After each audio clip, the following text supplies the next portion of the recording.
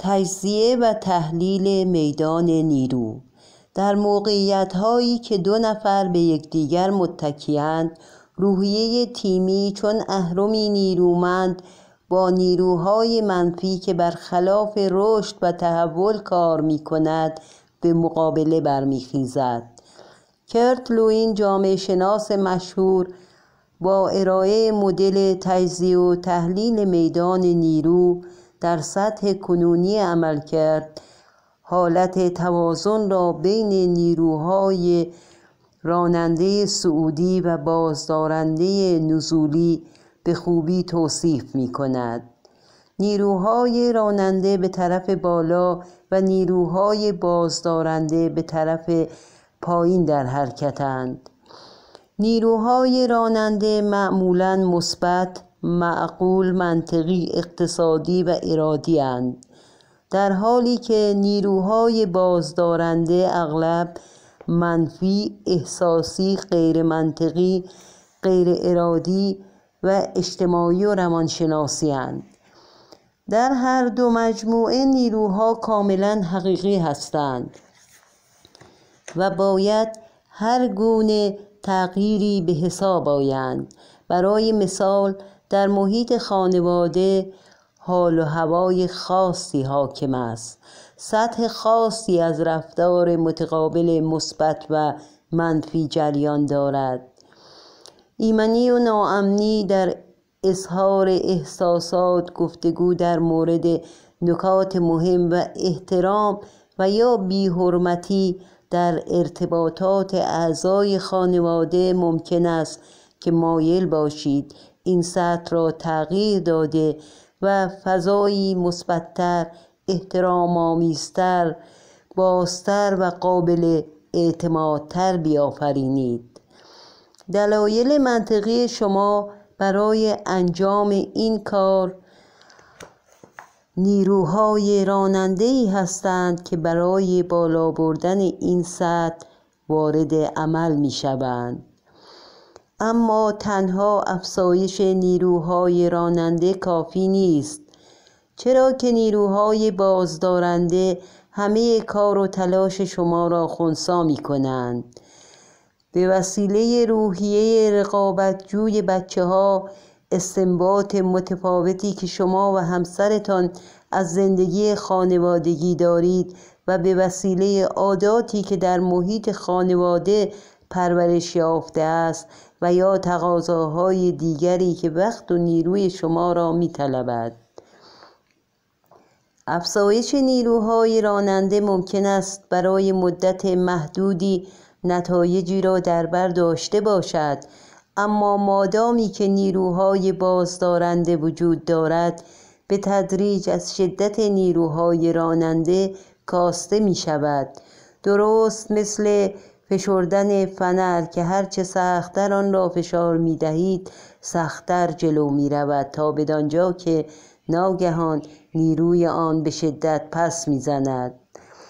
بحث و جدل های مکرر بین افراد این اندیشه را به ذهن راه می دهد که مردم که مردم این گونند و هر تغییری در خوی و منش آنان کاری بس دشوار است اما وقتی نیروی جمعی را دخالت می دهید با توسل به عادت چار مهارت عادت پنج و ارتباطات متقابل عادت شش به طور مستقیم نیروهای بازدارنده را خونسا می کنید در سایه فضای ایمنی که می آفرینید درباره چنین نیروهایی سخن می گویید محدودیت ها را در هم می شکنید موانع را از پیش پا بر می دارید و سرانجام با آفرینش دیدگاهی تازه نیروهای بازدارنده را به نیروهای راننده تبدیل می کنید به این ترتیب مردم در مسائل درگیر می شوند با تمام وجود در آن می آمیزند چنانکه پنداری با مسائل خودشان روبرویند. آنگاه میکوشند بخش مهمی از راه حل شوند. در نتیجه اهداف جدید و مشترک افقهای تازه‌ای را در برابر دیدگاه های افراد یک جمع می گشاید.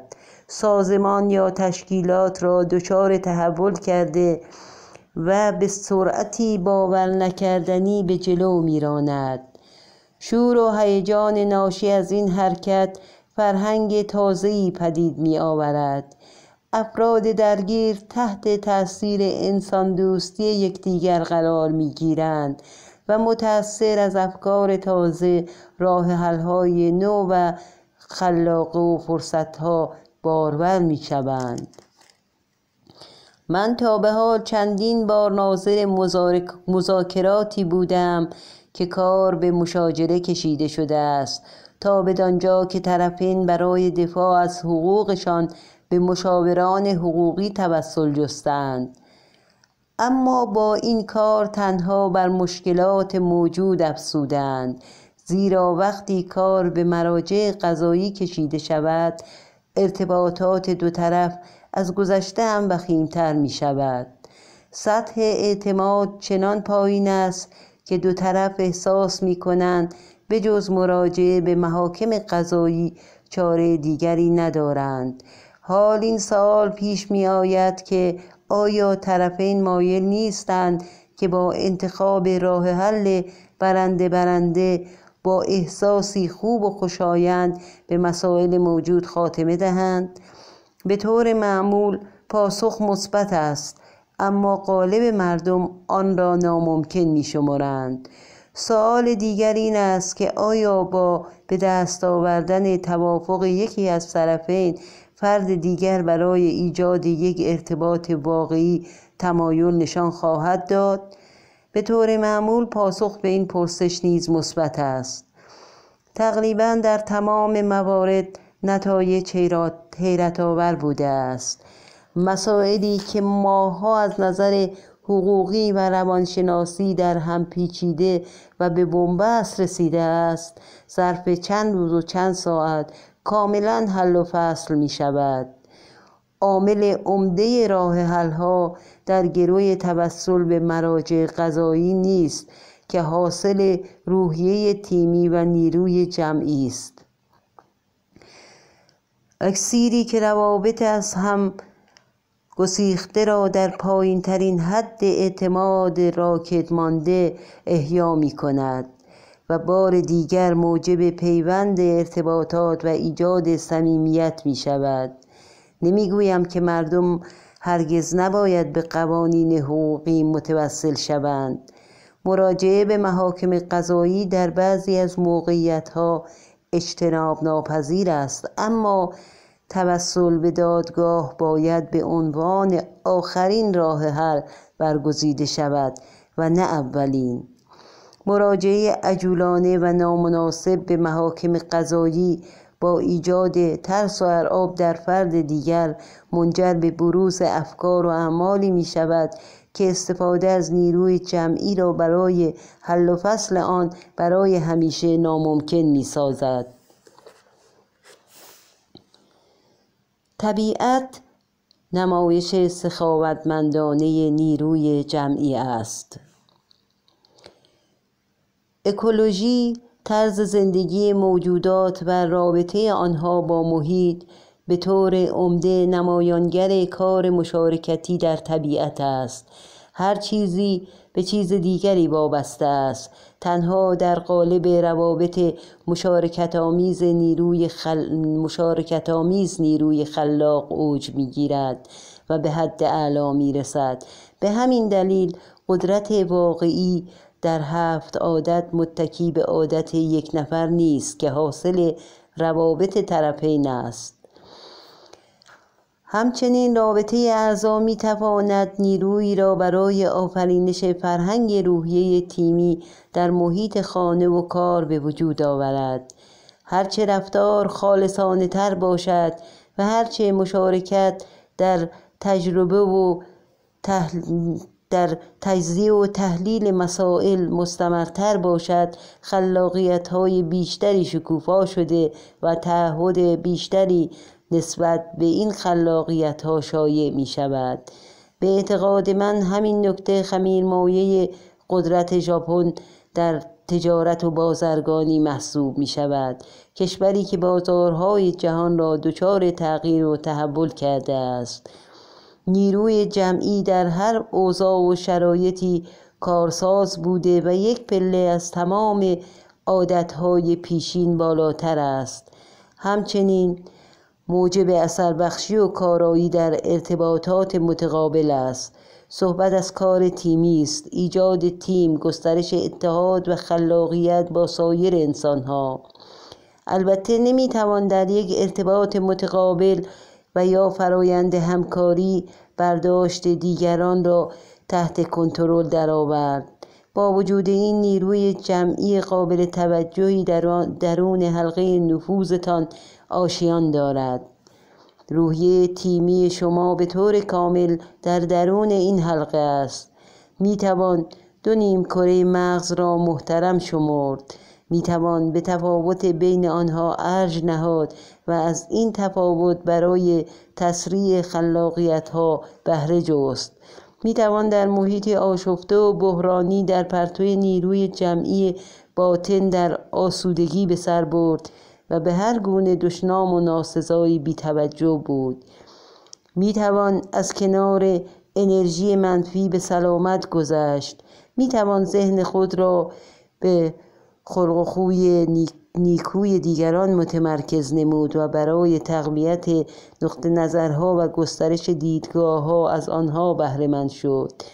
می توان در موقعیت های با اتکای متقابل با جسارت افکار، احساسات و تجربیات خود را از عمق به سطح آورد. به گونه ای که دیگران نیز تشویق شوند و درونیات خود را برون ریزند. می توان برای تفاوت‌های دیگران ارزش قائل شد و به هنگام مخالفت دیگران گفت بسیار خوب. موضوع را شما موضوع را به گونه متفاوت می بینید. به هر حال شما ناگزیر نیستید که با طرف مقابل موافق باشید بلکه می توانید به تایید ضمنی قناعت کنید و جویای تفاهم باشید. هرگاه تنها دو راه حل پیش رو دارید. راه حل خودتان و راه حل طرف مقابل. در جستجوی راه حل دیگری که به تعاون و هم هماهنگی متمرکز باشد بشتابید. شک و تردیدی نیست که همیشه راه حل سومی هم وجود دارد و اگر با فلسفه برنده برنده پیش بروید واقعا در صدد درک دیگران باشید. به طور معمول راه حلی میابید که برای همه خوب و مفید خواهد بود. پیشنهادات کاربردی درباره فردی بیاندیشید که همه چیز را متفاوت از شما می‌بیند. راههایی را جستجو کنید که با توسل به آن بتوان از این تفاوتها به عنوان سکوی پرشی برای دستیابی به راه حل سوم بهره جست. شاید بتوانید از نقطه نظرهای او پیرامون طرح و یا مسائل جاری سر در آورید و برای نقطه نظرهای متفاوتی که احتمالاً میشنوید ارزش قائل شوید. دو فهرستی از نام افرادی که کم و بیش موجب آزار و اذیت شما می‌شوند فراهم آورید آیا اگر از امنیت باطنی بیشتری برخوردار بودید و به تفاوتها ارج می نهادید می توانستید نقطه نظرهای متفاوت ایشان را به نیروی جمعی سوق دهید؟ 3. در صدد یافتن موقعیتی باشید که کار تیمی و نیروی جمعی بزرگتری را آرزو کنید حمایت از این هماهنگی و تعاون مستلزم چه شرایطی است؟ برای ایجاد چنین موقعیتی چه کارهایی را می توانید انجام دهید؟ چهار بار دیگر که با کسی اختلاف نظر و یا برخوردی دارید بکوشید که در ورای مقام و موقعیت او نیازها و علایقش را درک کنید. آنگاه به شیوهی خلاقه و مفید بر نکات مورد علاقهش تاکید ورزید.